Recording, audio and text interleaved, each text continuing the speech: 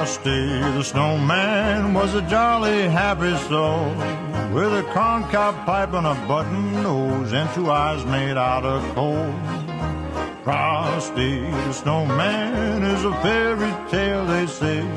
He was made of snow, but the children know how he came to life one day. There must have been some magic in that old silk hat they found. But when they placed it on his head, he began to dance around.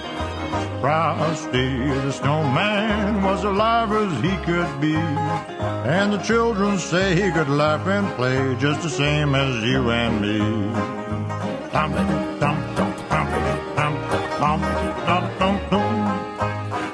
Frosty the snowman knew the sun was a hot that day. So he said, let's run and we'll have some fun now before I melt away.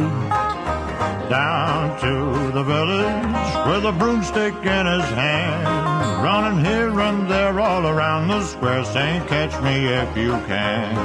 He led them down the streets of town right to that traffic cop. And he only paused in a moment when he heard him a holler style. Frosty the snowman had to hurry on his way. But he waved goodbye saying, don't you cry, I'll, I'll be, back, back again someday. A thump a thump thump thump a thump thump Look at Frosty go.